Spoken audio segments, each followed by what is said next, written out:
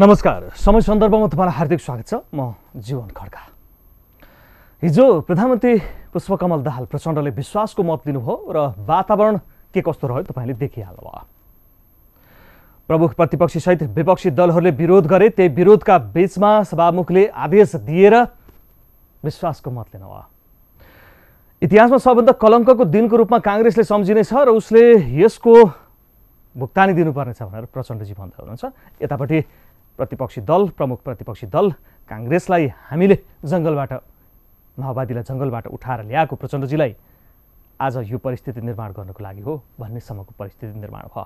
सभामुखले पेले सभामुख कुनै दलको कार्यकर्ता जस्तो भए भनेर पनि विपक्षी दलहरूले आरोप लगाइरहेका छन्। यो राजनीतिक सिनारियो र अबको कस्तो दिशा देख्नुहुन्छ यिनै सेरोफेरोमा केन्द्रित हुन्छौँ। स्टुडियोमा उपस्थित हुनुहुन्छ लेखक नागरिक अभियन्ता डमर यहाँलाई हार्दिक स्वागत छ। धन्यवाद। संसदमा जे देखियो हिजो तपाईँले के महसुस गर्नुभयो हेर्नुहोस् यसको दुईवटा पार्ट हो एउटा त संसदीय प्रक्रियाका दृष्टिकोणले यस्तो अभ्यासलाई कसरी लिने होइन भन्ने कुरा आउँछ। र हाम्रो संसदको आजसम्मको अभ्यास हेर्दाखेरि चाहिँ विपक्षी दलले विरोध गरिरहेका बेला र विपक्षमा भएका धेरैवटा दलले संसद अवरुद्ध गरिरहेका बेला चाहिँ ठुला निर्णयहरू लिने प्रचलन चाहिँ हामी कहाँ थिएन होइन। त्यो एउटा पाटो हो। अर्को कुरा प्रधानमन्त्रीले जुन भन्नुभयो कि यो इतिहासमा एक कलङ्क हो र यसको मूल्य कङ्ग्रेसले चुक्ता गर्नुपर्छ विपक्षी दलहरूले चुक्ता गर्नुपर्छ भन्ने। अब त्यो पनि निकै कठोर टिप्पणी हो भन्ने मलाई लाग्छ। होइन एउटा विश्वासको मत लिँदै गरेको प्रधानमन्त्रीले त्यस प्रकारको अभिव्यक्ति दिनु कति उचित हो भन्ने प्रश्न पनि उठ्छ। यो एउटा संसदीय प्रक्रियाको पाटोबाट हेर्दा देखिने दृश्य हो। अब तपाईँ नागरिकको आँखाबाट हेर्दा चाहिँ के देखिन्छ त?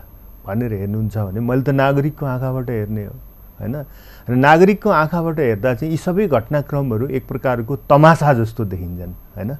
जो औपचारिकता जस्तो लाग्छन् नाटक जस्तो लाग्छन् नौटङ्की जस्तो लाग्छन् र जुन हेर्दा हेर्दा सुन्दा सुन्दा भोग्दा भोग्दा नेपाली जनतालाई एक प्रकारले दिक्क लागेको छ र चासो मतलब पनि लाग्न छोडेको छ। व्यवस्था? गर्न थाल्यो यिनीहरू गर्दै गरून् मर्दै गरून्। यिनीहरूको कामै यही हो यिनीहरूले बुझेको राजनीति नै यही हो यिनीहरूको चरित्रै यही हो यिनीहरूको संस्कारै यही हो यिनीहरूको गुणस्तरै यही हो यिनीहरू के गर्छन् यसमा हामीलाई ध्यान दिने समय पनि छैन मतलब पनि छैन। भन्ने खालको एउटा राजनीति र राज्य राज्य र राजनीतिप्रतिको एउटा व्यवस्थाको भावना निराशाको भावना तटस्थताको भावना चाहिँ नागरिकमा बढ्दै गइरहेछ होइन? यी सारा चिजहरूले गर्दा। र के हो पनि होइन? अब कसले कतिखेर गठबन्धन परिवर्तन गर्छ थाहा हुँदैन. होइन। भन्छन् एउटा गठबन्धनबाट चुनाव लड्छन्। चुनाव सकिने बित्तिकै अर्को गठबन्धनमा जान्छन्। होइन प्रधानमन्त्रीले चारचोटि यो विश्वासको मत लिनुभएको दुई वर्ष समय भएको छैन डेढ वर्ष जस्तो मात्रै हुँदैछ। अब कति तिनचोटि चारचोटि चुनावको शुद्ध जोड्दा चारैचोटि गठबन्धन परिवर्तन गरिसक्नुभयो। अब कतिचोटि गठबन्धन परिवर्तन गर्नुहुन्छ र कतिपटक विश्वासको मत लिनुहुन्छ भन्ने पनि थाहा छैन। सरकार कति जान्छ भन्ने पनि थाहा छैन। राजनीतिक स्थायित्वको पाटो बिल्कुल शून्य छ होइन? अब यो सारा परिप्रेक्ष्यमा चाहिँ नागरिकले यी सब घटनाहरूलाई कुनै महत्त्व दिनुपर्ने उत्साह वा निराशाको दृष्टिकोणले हेर्नुपर्ने मैले आवश्यकता चाहिँ देख्दिनँ। यही बिचमा जे जस्तो सिनेरीहरू प्रतिपक्ष र सत्तापक्षको बिचमा उठेको छ त्यो एउटा मुद्दाले उठेको छ। त्यो एउटा मुद्दा चाहिँ सहकारीमा ठगी भएको छ। त्यो ठगीमा अहिलेका गृहमन्त्री उप प्रधानमन्त्री रवि लामिछाने मुचिनु भएको छ। त्यसका प्रमाणहरू सब महामन्त्री विपक्षी दलका महामन्त्रीले सार्वजनिक गर्नुभयो पत्रकार सम्मेलन गरेर। यी यी प्रमाणका कारणले उहाँमाथि छानबिन हुनुपर्छ। र यही छानबिन हुनुपर्छ भन्ने उसको माग यो माथि छानबिन हुनु हुँदैन भन्ने सत्तापक्षको माग। यो एउटा बिन्दुले गर्दाखेरि यो परिस्थिति निर्माण भयो हिजो। इतिहासकै कलङ्कको दिनको रूपमा प्रतिपक्षले बेहोर्नुपर्छ भनेर प्रचण्डजीले बोल्नुपर्ने स्थितिसम्म आइलाग्यो। अब यो बिचमा घोलेर हेर्दाखेरि तपाईँ कसरी विश्लेषण गर्नुहुन्छ? हेर्नुहोस् अब यस्तो हुन्छ नि नेपालको राजनीतिक दलहरूको चरित्र कस्तो छ नेताहरू कस्तो छन् यिनीहरूले कस्तो राजनीतिक संस्कार संस्कृतिलाई हुर्काइरहेका छन् भन्ने त्यो एउटा पाटो भयो होइन? त्यसको विश्लेषण हामी गर्दै पनि आएका छौँ बोल्दै पनि आइरहेछौँ तर अब ठगी त ठगी नै हो नि होइन? ठगीको छानबिन नगर कुन दलले कुरा उठायो फलानु दलले कुरा उठायो त्यसैले ठगी ठगी होइन। ठगीमा छानबिन हुनु हुँदैन ठगी पच्नुपर्छ। ठग्न पाइन्छ। हिजो तिमीहरूले ठग्या हिजो तिमीहरूले ठग्यौ अब म ठग्छु। हिजो ठग्नेहरूले उन्मुक्ति पाए अब आज ठग्नेले पनि उन्मुक्ति पाउनुपर्छ। हिजो चोर्नेले उन्मुक्ति पाए अब आजका चोरहरूले पनि उन्मुक्ति पाउनुपर्छ। यस्तो पनि कुनै लजिक सिस्टम हो र यो। होइन? मलाई त हाँस उठ्छ यो। के भन्न खोजेको? होइन? अझै पनि भन्नु जस्तो अब राज्यका नियामक निकायहरूले छानबिन गर्न नसक्ने। होइन? संसदीय छानबिन पनि विश्वासिलो कतिको हुन्छ भन्ने फेरि छ हेर्नुहोस्। होइन? किन हामी हाम्रो देशमा आजसम्म जति पनि संसदीय छानबिन भएका छन् होइन? संसदीय छानबिन समितिमा पनि फेरि तिनै पार्टीका सदस्यहरू हुने हुन्। कति? त प्रतिवेदनै कहाँ लुकाउने हुन्। ती कति निष्पक्ष छानबिन गर्ने हुन्? पीडित सहकारी ठगीमा परेका पीडितहरूले न्याय पाउने हुन् कि होइनन्? त्यो पीडितहरूको त्यो बचत रकम अब कहाँबाट फिर्ता गर्ने हो? होइन? यी यावत प्रश्नहरू अहिले पनि अनुत्तरित छन्। खालि छानबिनै गर्न हुन्छ कि हुँदैन? भन्ने कुरामै यत्रो रडाएको छ। भने एउटा लोकतान्त्रिक राज्यमा विधिको शासनमा विश्वास गर्छु लोकतन्त्रमा विश्वास गर्छु होइन? एउटा चाहिँ एउटा हामी आधुनिक राष्ट्रिय राज्य हौँ होइन? हाम्रा चाहिँ राष्ट्रिय अन्तर्राष्ट्रिय प्रतिबद्धताहरू छन् भनेको देशले राज्यले तपाईँको छ छानबिनमै यत्रो रडाको गर्नुपर्ने हो र होइन? छानबिनपछि अब त्यो पीडितहरूको न्यायको कुरा उनीहरूको सम्पत्तिको क्षतिपूर्तिको कुरा होइन? अनि उनीहरूको त्यसको विश्वसनीयताका कुराहरू बाँकी छन्। जनतालाई सरोकार राख्ने चिज त्यो हो। यहाँ रडाको केमा छ त छानबिनै गर्ने कि नगर्ने भन्ने कुरामा एउटा व्यक्ति केन्द्रित छानबिन भन्ने कुरामा एउटा पक्ष अडान लिन्छ र त्यो व्यक्तिले घोटाला गरेको छ त व्यक्ति केन्द्रितै हुन्छ। व्यक्ति सामान्य व्यक्ति छैन पद धारण गरेको र विशिष्ट पद धारण गरेको व्यक्ति छ। त्यसकारण गर्न पर्या भन्छ अर्को पक्ष। होइन छानबिन त केमा गर्ने त? ठकारी सहकारी ठगी भएको छ भनेर त छानबिनै गर्नु त्यो त पुष्टि भइसक्यो नि। त्यसको लागि त संसदीय छानबिन समिति चाहिन्छ र। त्यो त निय नियमित नि नियामक निकायहरू सहकारी विकास पालिका सिबिआई प्रहरीहरूले नै रिपोर्ट दिइसके त होइन? पीडित नागरिकहरू सहकारी पीडितहरूले जुलुस गरिरहेछन् त पोखराका पीडित पीडित छन्। पीडितहरूले चाहिँ घर घरै तिनै नेताहरूका राज्यका घर घरै चारेर गाप ज्ञापन पत्र दिएर फलानु सहकारीबाट हाम्रो पैसा यति ठगियो यति ठगियो भनेर भनिरहेछन् त। अनि ती ठगिएका भनिएका सहकारीबाट पैसा निकालेर चाहिँ गोर्खा मिडिया प्रणालीको ब्याङ्क खातामा हालेको भनेर ब्याङ्क स्टेटमेन्टहरू तथ्याङ्कहरू आइरहेछन् त। त्यसमा त के छानबिन? त्यो त पुष्टि भइसक्यो संलग्न छैन भनेर अस्ति पनि। छानबिन त छानबिन त यो कारणले संसदीय छानबिन या उच्च स्तरीय छानबिन जरुरी परेको हो कि यी सब छानबिनहरू जो नियामक निकायहरूले ठगी भएको भनेर पुष्टि गरे त्यसमा चाहिँ हाम्रो गृहमन्त्रीको चाहिँ संलग्नता छ कि छैन त? हाम्रा राज्यका निकायहरू राज्यको उपल्लो पदमा हैसियतमा बसेको मान्छेको डरले होइन त्यसप्रतिको एउटा के भन्ने निष्ठाले अथवा उसप्रतिको लोयालिटीले या डरले या कुनै न कुनै भावनाले हिचकिचाएर होइन निष्पक्ष छानबिन गर्न नसकेका हुन् कि? भन्ने एङ्गलबाट न छानबिन गर्नुपर्ने हो। जरुरी छ तपाईँ एउटा मेरो त- मेरो नागरिकको तर्फबाट बोल्दाखेरि रवि लामी माथि जे जस्तो मुद्दा प्रतिपक्षी दल नेपाली कङ्ग्रेसले उठाएको छ त्यो जायज छ। उच्च स्तरीय छानबिन बनाउने उहाँलाई दुधको दुध पानी जरुरी काङ्ग्रेस काङ्ग्रेससँग जोडिएका नैतिक सङ्कटहरू एकातिर एकातिर थुप्रै छन् इतिहासमा। काङ्ग्रेसले हिजो लाउडा काण्ड गर्यो धमिजा काण्ड गर्यो सुडान काण्ड गर्यो। काङ्ग्रेसका मान्छेहरू हिजो चाहिँ खुमबहादुर खड्का गोविन्दराज जोशी विजय गस्तारहरू जस्ता निस्किए। होइन काङ्ग्रेसको अस्ति भर्खरै मात्रै काङ्ग्रेसका केही मन्त्रीहरू माथि टेरामक्स लगायत केही छँदैछन् अभियोगहरू छन्। अब यी सब कारणले गर्दाखेरि मेरो पनि ठगी चाहिँ छानबिन हुनु हुँदैन। भन्ने तर्क हुन्छ र। कस्तो लाग्यो? म तपाईँ एउटा नागरिक अभियन्ता लेखक विश्लेषक राजनीतिक जानकार विज्ञको हिसाबले एउटा गृहमन्त्रीले रोस्टममा उभिएर महिनौदेखि बोल्न पाऊँ भनिरहेको अवस्थामा बोल्न पाउँदाखेरि बोलेको जवाफ कुन स्तरको थियो? अलिकति म तपाईँबाट सुन्न चाहन्छु। होइन अब यसमा हेर्नुहोस् अब यो यी मान्छेहरूको व्यक्ति व्यक्तिमा गएर विश्लेषण होइन एउटा गृहमन्त्रीले बोल्ने सुन्नु न त अब मलाई कहिलेकाहीँ लज्जाको अनुभूति हुन्छ तर हामी बाध्य पनि छौँ फेरि लजाएर पनि के गर्ने? यिनै मान्छेहरू हाम्रो शासक छन् होइन? तर अब त्यस कारणले बोल्नु पनि पर्ला। तर मैले के देख्छु भने यो कुनै रोडाको गर्ने विषय होइन कि? रडाको गर्ने विषय होइन। तपाईँ आफैले जस्तो गृह गृहमन्त्री हुनुभन्दा पछि के अरे गृहमन्त्री भएर निस्किएर फेरि अपोजिसनमा हामी गयौँ भनेको बेला चाहिँ रविजीले आफैले लेखेको स्ट्याटसहरू आफैले बोलेको कुराहरू सहकारी ठगीबारे आफैले भनेको कुराहरू फर्केर हेरे भयो नि त त्यो त रेकर्डेड छ नि त अहिले पनि। उहाँको सामाजिक सञ्जालमा उहाँले लेखेको कुराहरू सबै डिलिट भएको छैन। सरकारले अघिल्लो सरकारले चाहिँ जिबी राईलाई लुकायो भन्ने उहाँको तर्क छ। अघिल्लो सरकार भनेको को त? उहाँ त त्यही अघिल्लै सरकार त माता हुनुहुन्छ। प्रचण्डजी सरकार भनेको त? प्रधानमन्त्री मानिन्छ नि मन्त्रीलाई मानिँदैन नि। हजुर? अनि कसको अघिल्लो सरकार भनेको पनि प्रचण्डकै सरकार हो अहिलेको सरकार भनेको पनि प्रचण्डकै सरकार हो। उहाँ त त्यही पुरानै सरकारमा चाहिँ मन्त्री खान जानुभएको हो त? पुरानो सरकारले जिबी राईलाई लुकायो भन्ने उहाँको हो भने उहाँ चाहिँ किन त्यही पुरानो सरकारलाई सब जिबी राई लुकाउने प्रधानमन्त्रीलाई सपोर्ट गर्न किन जानुभएको त? जिबी राई लुकाउने प्रधानमन्त्रीको सरकारलाई चाहिँ विश्वासको मत किन दिनुभएको त? होइन त्यस्तो वाहियात कुराहरू होइन त्यो गरेर चाहिँ उहाँले उन्मुक्ति पाउनुहुन्न। मलाई मलाई मैले हेर्नुहोस् फेरि म त्यो व्यक्तिमा गएर एकदमै आरोपै केन्द्रित भएर बोल्न पनि चाहन्न। मेरो पनि आफ्नो छ होइन एउटा बोल्नु एउटा नैतिक भावना छ। मैले केही बुझेर बोल्नुपर्छ।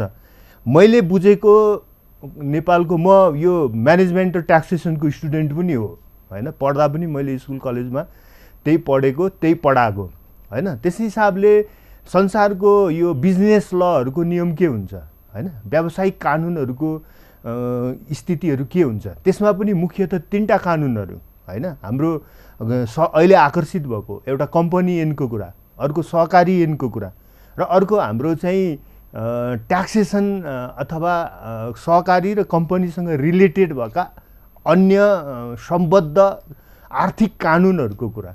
यी सबै चिजको आधारमा न भन्ने हो हामीले होइन? त्यो सबै चिजको आधारमा भन्दाखेरि रवि लामी छानेले कुनै न कुनै दिन होइन यो स्वीकार गर्नै पर्छ कि उहाँ मैले म ठगमा इन्भल्भ मान्छे हो। त्यो सबै जिबी राखेको जिम्मेवारी हो। मैले स्वेट होइन, होइन, मैले छोडेर हिँडिसकेँ भन्नुभयो उहाँले। त्यसमा एउटा एउटा अप्सन छ त्यो म पनि स्वीकार गर्छु। त्यो अप्सन के हो भने जिबी राई भन्छ मान्छे आउनु पर्यो सार्वजनिक जीवनमा। सरकारसँग सेलेन्डर गर्नु पर्यो लुकेका छन् भने। या सरकारले पक्राउ गरेर नेपाल ल्याउनु पर्यो बाहिर छन् भने। देशभित्रै लुकेका छन् भने उनलाई चाहिँ खोजी नीति गरेर पक्रिनु पर्यो। त्यो सबै गर्ने काम अब कसको? दायित्व गृहमन्त्री। गृहमन्त्रीको। होइन? रवि लामी छानेको अनि हिजो उहाँले जिबी राई एउटा महान लगानीकर्ता मेरो संरक्षक यति राम्रो मान्छे उति राम्रो मान्छे भनेको भिडियोहरू त अहिले छ्यापछ्याप्ती छ। छैन र। अनि त्यो हिजो त्यो संसारकै मेरो महान पार्टनर भनेको मान्छे आज सबैभन्दा धेरै फोहोरकर्ता कसरी भयो? त्यो नैतिक दायित्व जान्छ कि जाँदैन? ल ठिक छ। उहाँले मैले स्वेट इक्विटी मात्रै लिएको हो मैले कामदारको सेयर होल्डर ले भाग लिएको हो टोटल लगानीकर्ता चाहिँ हन्ड्रेड पर्सेन्ट जिबी राई हो भनेर उहाँले भन्नुहुन्छ भने त्यो पनि जिबी जिबीले भन्नु पऱ्यो क्या त्यो कुरा रविले भनेर हुँदैन। बुझ्नुभयो नि? रवि लामिछानेको यो केसबाट बाँच्ने उम्किने एउटै मात्रै आधार छ। त्यो आधार छ। म त्यो स्वीकार गर्छु। त्यो आधार भनेको के हो भने जिबी राई हो। जिबी राईले पब्लिक लाइफमा आएर सरकारको सामु अथवा अनु नियामक निकाय र अनुसन्धानकर्ताहरूलाई बयान दिएर र सार्वजनिक रूपमा पनि के भन्नु पर्यो भने त्यो ग्यालेक्सी टेलिभिजन या गोर्खा नेटवर्क मिडिया प्रालीको वास्तविक मालिक म हुँ। रवि मेरो कामदार मात्रै थियो कर्मचारी मात्रै थियो। रविलाई यी सब चिजहरू केही पनि थाहा। छैन। यी सबै घटनाक्रमको जिम्मेवारी म लिन्छु। मेरो सम्पत्तिबाट। सुन्नु न मेरो सम्पत्तिबाट बेचबिखन गरेर निखनेर ती पीडितहरूको पैसा तिरियोस्। मेरो सम्पत्तिले नपुग्ने बराबरको जेल म बस्छु।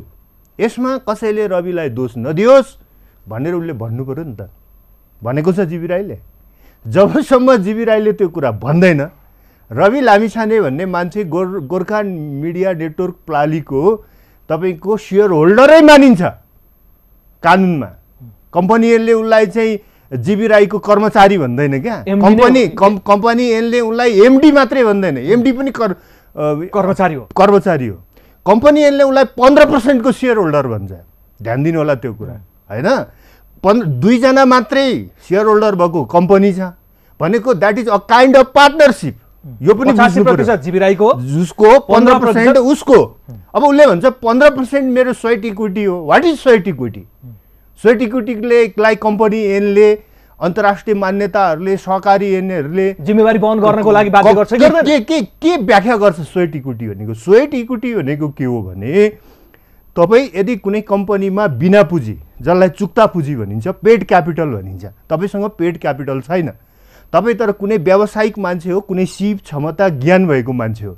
र तपाईँको मालिकले तपाईँलाई महिनाको यति बराबरको तलब तोकिदियो र त्यो तपाईँले महिना कटाउँदै जाँदा बुझ्नुभयो नि तपाईँको तलब बराबरले तपाईँलाई तलब पैसा नदिने तर तपाईँको तलबलाई के गर्ने त? क्यापिटलाइज गरेर कम्पनीको मालिक बनाउने। मालिक बनाउने। त्यो सिस्टमलाई स्वेट इक्विटी भनिन्छ। सहकारीको पैसामा ब्याङ्क खातामा हाल्न लाउने। आफ्नो अ- सहित हाल्न लाउने होइन? अनि त्यो पैसाले आफ्नो पोर्सन अफ सेयर होइन चाहिँ होल्ड गर्ने अनि त्यसलाई स्वेट इक्विटी भन्ने। त्यो कानुन कम्पनी ऐनले मान्छ त्यो कुरा। हामीलाई बुझ लु कोही कम्पनी ऐनको ज्ञाता सहकारी ऐनको ज्ञाता आएर लु बहस गरोस् त। उहाँमाथि छानबिन हुनुपर्छ? त्यसमा कुनै शङ्का छैन त्यसो भए। कुनै शङ्का छैन। रवि लामिछानेमाथि छानबिन हुनुपर्छ मात्रै होइन। मैले त कन्डिसनै भने। जिबी राईले हन्ड्रेड पर्सेन्ट यसको उत्तरदायित्व लिए नलिएको भने लिए? भने लिए नभए कुनै न कुनै दिन यो काण्डमा रवि लामिछाने जेल जानै पर्छ ल। म ठोकेर भनिदिन्छु। कुनै पनि उम्किने ठाउँ छैन। कुनै उम्किने ठाउँ छैन। एउटै मात्र उम्किने जिबी राई। एउटै मात्रै उपाय छ। जिबी राईले टोटल रेस्पोन्सिबिलिटी के गर्नु? आफ्नो उनले लिदिनु पर्यो। लिइदिएर पनि ती प्रमाणहरूले के भन्छन् होइन लिदिसकेपछि मैले त- मिसयुज गरे हो रवि होइन सिंहको हस्ताक्षर- लिदिसकेपछि ऊ कानुनबाट बच्छ। र उसँग नैतिक नैतिक ब्लेम त उसँग रहन्छ। होइन? मोरल ब्लेम त रहने त्यसपछि। पनि रहन्छ। किनभने मोरल ब्लेम त्यसपछि पनि किन रहन्छ भने कुनै पनि काम तपाईँले गर्दै हुनुहुन्छ भने तपाईँ आफूलाई सार्वजनिक जीवनको जान्ने मान्छे जान्नेलाई छान्ने भन्ने मान्छे हो भने तपाईँले त त्यो घटनाहरू मैले कानुन बमोजिम नैतिक आधारहरू बमोजिम अन्तर्राष्ट्रिय मापदण्डहरू बमोजिम तिम काम गरे कि गरिनँ भन्ने प्रश्न त तपाईँमाथि रहिरहन्छ नि। गर्नै पर्यो नि। होइन? होइन त कसरी उम्किन सक्नुहुन्छ त्यो प्रश्न? तपाईँले स्पष्ट रूपमा बताइदिनु भयो अब अलिकति अगाडि बढेर जाउँ। रविजीले एउटा रोस्टमबाट उभिएर गृहमन्त्रीले रविजीले नभनौँ अब गृहमन्त्रीले गगन थापालाई तँ त सूचना बेच्ने व्यक्ति होस् भनिदिनु भयो यसमा त्यति धेरै बहस भएको लाग्दैन। एउटा गम्भीर विषय हो भनेर केही विज्ञहरूले भनिरहेछन्। तपाईँलाई कस्तो लाग्छ? एकदमै गम्भीर विषय हो। किनभने सूचना बिक्री भनेको जस्तो के भने एक त सूचना बिक्री केलाई भन्ने? अहिलेको युगमा ग्लोबलाइजेसनको युगमा सबै देशहरू संयुक्त राष्ट्र सङ्घका सदस्य छन्। सँगै बसेर राष्ट्रहरूले मिटिङ गर्छन्। हाम्रै देशमा हाम्रा मित्र राष्ट्रहरूका के छन् त? दूतावासहरू छन्। ती दूतावासहरूले आफ्नै तरिकाले सूचनाहरू चाहिँ के गरिरहेको हुन्छन्? सङ्कलन गरिरहेको हुन्छन्। त्यसैले अबको दुनियाँमा सूचनाहरूको गोपनीयता भन्ने चिज चाहिँ के हुन्छ त? आफैमा एकदमै त्यो रिजिड कन्सेप्ट हो। होइन? ग्लोबलाइजेसनको अघिको युगमा त्यो थियो पनि होला। त्यति हुँदाहुँदै पनि केही चिजहरू गोप्य राखिन्छन्। होइन? राज्यका राज्यका विशेष गरी नेसनल सेक्युरिटीसँग जोडिएका। राष्ट्र नेसनल सेक्युरिटी भन्दा बाहेक र राज्यका केही इन्हेरेन्ट स्ट्राटेजीहरू भन्दा बाहेक अबको दुनियाँमा केही पनि के हुँदैन? गोप्य हुँदैन। हुँदैन। अब त्यो राज्यका इन्हेरेन्ट स्ट्राटेजी या तपाईँका राज्यका चाहिँ नेसनल सेक्युरिटी राष्ट्रिय सुरक्षासँग जोडिएका प्रश्नहरू यदि कसैले अर्को देशलाई बेचिरहेको छ भनेदेखि त्यो चाहिँ राज्यद्रोहको आरोप हुन्छ। त्यो गृहमन्त्रीलाई थाहा छ। र राज्यद्रोह या राष्ट्रद्रोहको दे देशद्रोहको आरोप मानिन्छ त्यसलाई होइन? र देशद्रोहको मार आरोप चाहिँ संसारको जुनसुकै देशमा एउटा चाहिँ ठुलो एउटा के भन्छ नागरिकले आफ्नो राष्ट्रपति गरेको फ्रडका रूपमा लिइन्छ र त्यसमाथि दण्ड दिने चाहिँ कानुनहरू संसारभरि छ। अब त्यो चिज गृहमन्त्रीलाई थाहा छ। गृहमन्त्री त नेसनल सेक्युरिटीको एउटा महत्त्वपूर्ण इलिमेन्ट हो। जब उसले उसलाई त्यो चिज थाहा छ कि कसैले सूचना बेच्दैछ होइन गोपनीयता सम्बन्धी राज्यका गोपनीयता सम्बन्धी राष्ट्रिय सुरक्षा सम्बन्धी सूचनाहरू बेच्दैछ भने त्यो देशद्रोहको मुद्दामा उसलाई तुरन्त पक्राउ गर्नु पर्यो। थाहा छ तर किन गर्दैनन्? अब अब यहाँनिर अब प्रश्न आउँछ कि त पक्राउ गरेर गगन थापालाई जेल पठाउनु पर्यो या राज्यद्रोहको मुद्दा लगाउनु पर्यो। कि त मैले हावादारी कुरा बोले बोल्नु नहुने कुरा बोलेँ वैयात कुरा गरेँ म जे पनि बोल्न पाउने स्वतन्त्रता भएको एउटा होइन सबै चिजहरूबाट उन्मुक्त एउटा फोकटिया मान्छे हो भनेर उनले त्यसरी भन्न पनि मिल्छ आफूलाई पदमा गर्नु पर्यो। गृहमन्त्री भएर त्यसरी भन्न होइन। उत्तर के त उसले फेरि कुनै मिडियामा कुनै भाषणमा कुनै चुनावी सभामा भनेको पनि होइन पार्लियामेन्टमा भनेको- पार्लियामेन्टको रोस्टममा उभिएर पार्लियामेन्ट भनेको त राज्यको सबैभन्दा ठुलो निकाय हो त्यहाँ त गलत बोलियो भने रेकर्डबाट हटाउने चलन छ। होइन त्यस हुनाले यो चाहिँ त्यो त रेकर्डमा बस्छ। एउटा गृहमन्त्रीले अर्को पार्टीको महामन्त्रीलाई सूचना बेचेको भने त रेकर्डमा बसिरहेछ नि हो। होइन अब त्यो त्यो त्यही त अब यो हाम्रो राज्य यस्तै छ कि हामी बोल्छौँ लेख्छौँ। निराकरण कसरी गर्ने? यसमा अलिकति बोलिदिनुहोस् त। होइन निराकरणै यसको छैन यसको त दुईवटा मात्रै उपाय छ। कि गगन थापालाई गिरफ्तार गर्नु गगन थापालाई गिरफ्तार गरेर देशद्रोहको मुद्दा लगाउनुपर्छ होइन?